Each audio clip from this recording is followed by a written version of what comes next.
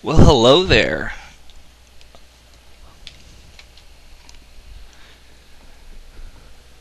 As you can see that uh, I'm playing Parasite Eve 2. So, obviously that means that uh,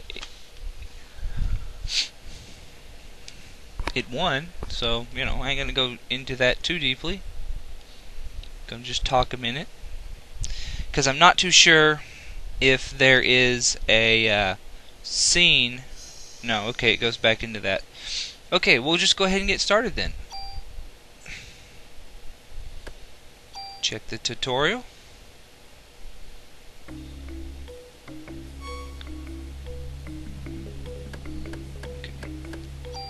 Don't need to mess with that.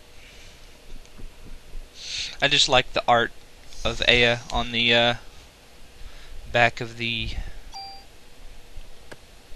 that menu there.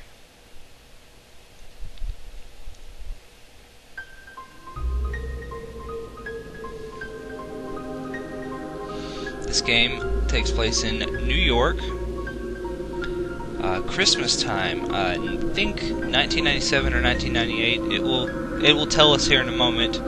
It zooms in on a Christmas ornament that uh, lets us know what year it is.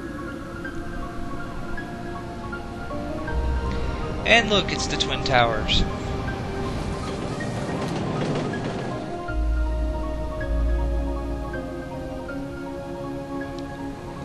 This is actually one of my favorite RPGs from the PS1 era, just because it's so different.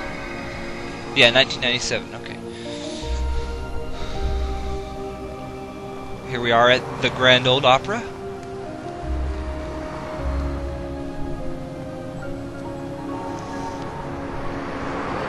Main character getting out of a swanky limousine, wearing a swanky dress, and apparently she has a gun strapped underneath her dress there.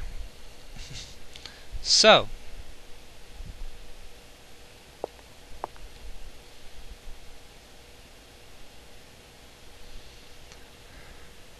this game, uh, when I bought it, I bought it right when it came out.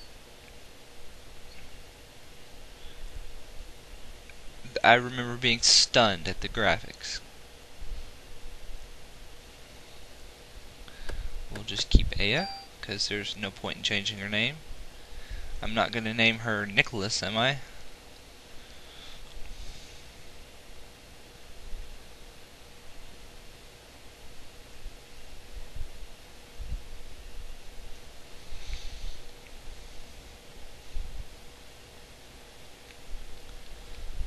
See.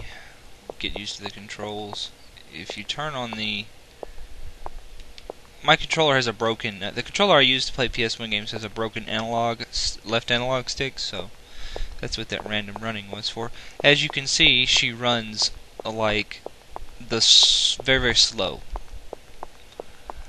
I was gonna do some metaphor and all that, but uh, nah. Here's the menu system. Basically, I hold, can hold 10 items right now. I have a gun, a club, and a normal vest. You carry ammo crates, which is really good because uh, you need ammo to shoot your gun.